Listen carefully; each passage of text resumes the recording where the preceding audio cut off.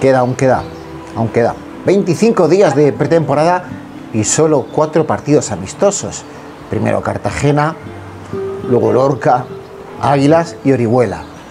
Eso es lo que le queda al Real Murcia por delante. Y la pregunta es, ¿qué tiene un pendiente Javier Recio, director deportivo del Real Murcia?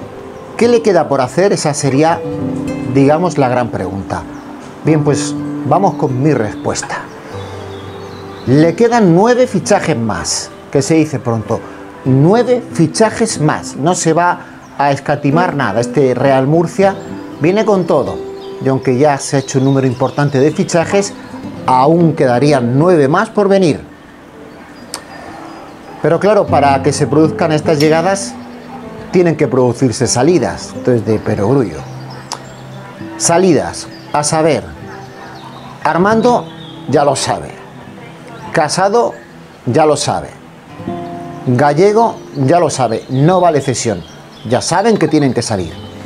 Pablo Ganet ya sabe que tiene complicado jugar este año todos los minutos que él le gustaría y que por lo tanto puede buscar equipo. ¿Que no lo encuentra? Pues encantado. Serían 8 y no 9 los fichajes. Encantado el Real Murcia se quedaría con Canet. Y lo mismo pasa con Romera. Lo mismo pasa con Romera. Si viene con un equipo bien, si no, se queda con el encantado el Real Murcia. Eso con Romera. En cuanto a Alex Rubio, la decisión también está tomada aquí. Y Alex Rubio sale cedido a un segunda red. Rubio, ex del Muleño, sale cedido a un segunda red. Rubio ha sido seguramente la sensación de momento de la pretemporada. Bien, eso en cuanto a los que se marchan, en cuanto a los que han de salir. ¿Y quiénes entran de esos nueve? ¿Quiénes entran?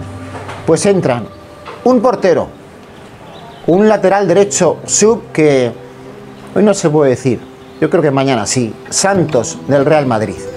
Mañana ha pasado oficial, creo, creo.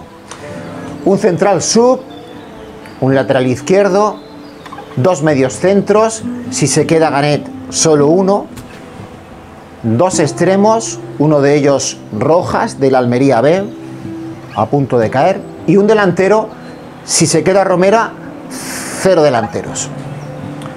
A ver, más cosas. No viene Gordillo, no viene Salva Sevilla, imposible casi. Y puede venir, es posible, puede venir Pablo Larrea. Y ya está, hasta aquí.